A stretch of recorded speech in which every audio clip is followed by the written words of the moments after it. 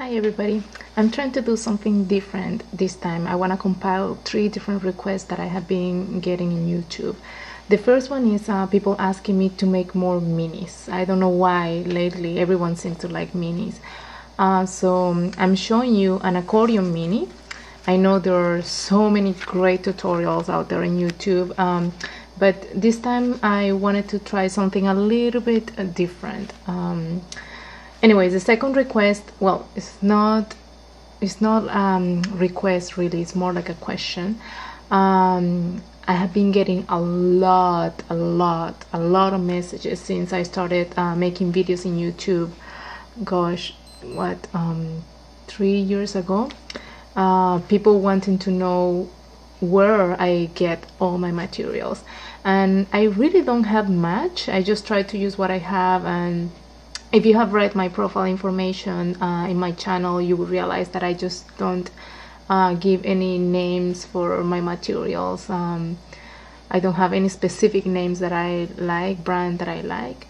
Um, and I also don't give information about where I get the materials because really I get them everywhere uh, wherever I can find them. And but I know that if you there are so many people that um, send me messages from uh, Latin America or Spain uh, because really scrapbooking is not a big thing there and it's it's hard very hard to find the materials there. So um, where I live um, I can find some materials but when I do they are extremely extremely expensive. So um, I decided to make this video for those crafty people who don't have access to scrapbooking materials. You realize that um, you really don't need all those fancy stuff of course. It's great to have them. I wish i have everything that is out there for scrapbooking. But you know what? Sometimes not having the materials makes you more creative and that is what i think. I don't know anyways uh, the third request i have been getting a lot and i really don't know why is making videos me talking rather than playing music. Um, as you have realized english is not my first language and the first time i made a video with my voice i just wanted to erase it right away. It was just so annoying. Anyways you asked for it and this is it Okay, uh, this is a mini that I made for my cousin Michelle who just had a beautiful baby Matthew. And I got the paper from a gift shop. I will show you. So this is the paper and I just love the paper. It's just it's simply wrapping paper. It's not even thick you know. Um, I love the color and I love the pattern and when getting the the um, wrapping paper for scrapbooking or for this kind of stuff um, it's better to get like no shiny paper. See this is opaque. Anyways it's my personal preference. It's just um, it's just, if it's just your mini you're gonna use it you can use whatever you want. But I just think that is when it's shiny paper shiny wrapping paper it won't glue very well. Anyways I also got um, this everything in a gift shop eh? and it doesn't need to be a scrapbook uh, shop or nothing fancy okay? Um, I also got this cardstock that match very well with the with the wrapping paper. And this is also simple cardstock it's not nothing fancy. Um, so I don't have any embellishments, no die cuts, shiny stuff, stickers, nothing that you get specialized for scrapbooking. It's all made uh, with these papers that I got and a couple of things.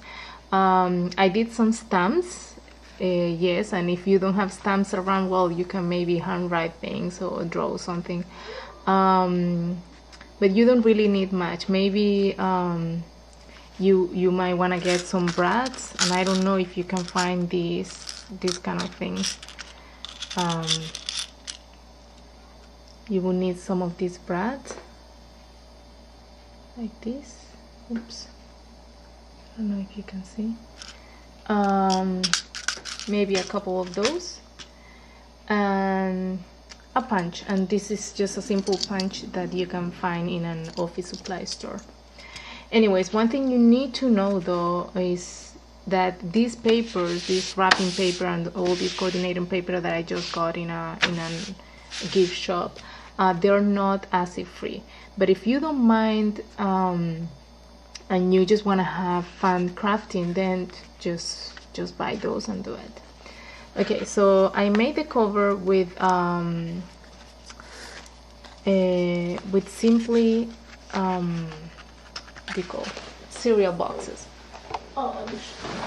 So I love Cheerios. So I just cut the Cheerio box and I wrap it with the wrapping paper and that's it. That is how I made the cover. Nothing fancy.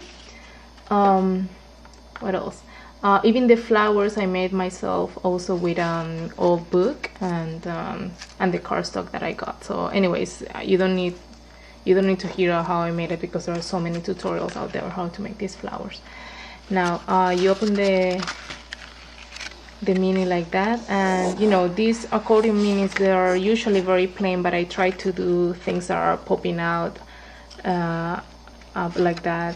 Like this thing is just this envelope I just made it myself and um, this button that well this is um this is a tag and this is to start just start uh, accumulating all the buttons from all shirts if you're gonna throw them away then just keep them all. And um, so also you don't need any die cut. This I just made myself. It's just um, these birds you can see I really like these birds in the pattern in my wrapping paper so I want some for die cutting for embellishment. So what I did is just a simple shape so I just cut the the um, cardstock. And I put this and people call it dimensional. If you don't have those um, you can get this kind of foam, foam adhesive and I really got this in a hardware store. Anyways another way to make um, die cuts by yourself is just like this house. Um, what I did is I took the wrapping paper I glue it on a cardstock and then I cut it. And then you have it. It's pretty cute. See? okay so let me show you